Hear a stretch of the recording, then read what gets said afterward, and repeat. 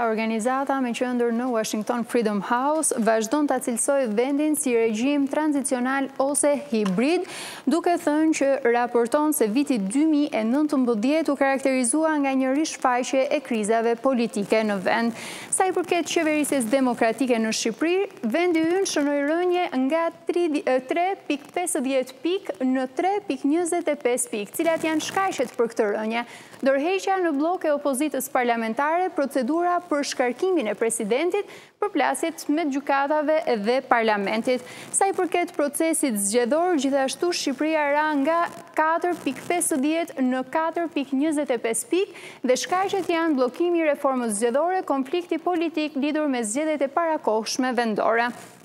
Nga ana tjetër, veçanërisht shqetësuese në këtë raport, paraqitet procesi legjislativ dhe zbatimi i ligjit për koncesionet dhe për partneritetet publik-privat. Gjithashtu për median, sipas këtij raporti ka qenë një vit sfidues dy mijë e nëntëmbëdhjeta, pasi mediat e pavarura u vunë në kërcënim si nga një paketë legjislative kundër shpifjes, e miratuar nga parlamenti ashtu edhe nga goditjet e vazhdueshme të qeverisë ndaj mediave online. Për këtë raport ka reaguar gjithashtu edhe zëdhënësja e Partisë Demokratike Ina Zhupa, e cila shkruan me anë të një postimi në Facebook, Rama e ka përkeqësuar demokracinë në Shqipëri, ai është përgjegjësi i vetëm për përkeqësimin e Shqipërisë për vitin dy mijë e nëntëmbëdhjetë në raportin vjetor të Freedom House.